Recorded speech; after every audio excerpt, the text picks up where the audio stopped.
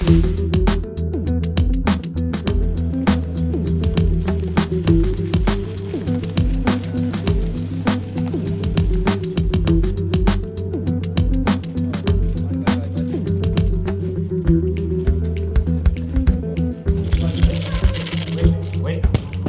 La sensation du CC Foot, c'est vraiment l'épanouissement de la personne.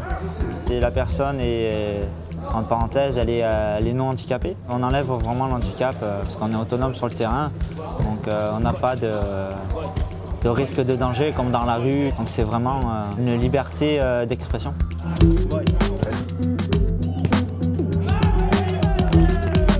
Les repères du, terrain sont les masses. Donc euh, au niveau euh, des barrières euh, latérales, il y a, il y a un- il y a un toucher, soit d'un doigt ou soit de la main, qui nous permet de savoir où la, la barrière se situe. Après, euh, c'est au son de- du guide qu'on sait qu'on a dépassé le terrain. Encore, encore.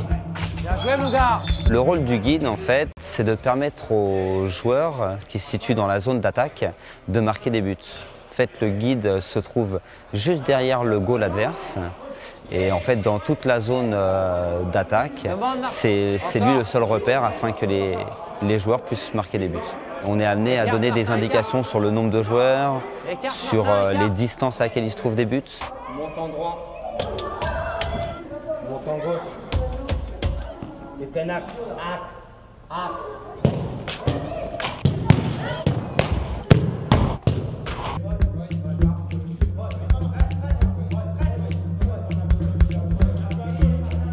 On peut dire que le CC euh, est un formidable outil d'amélioration de l'autonomie de la personne euh, aveugle. Le non-voyant qui arrive à prendre des informations, à analyser ces informations, à les exploiter à bon escient sur un terrain de CC est en capacité de faire la même chose dans la vie ordinaire. Le CC est également une école de vie pour les déficients visuels et les déficients visuels gagneraient à pratiquer cette discipline qui est une discipline de liberté.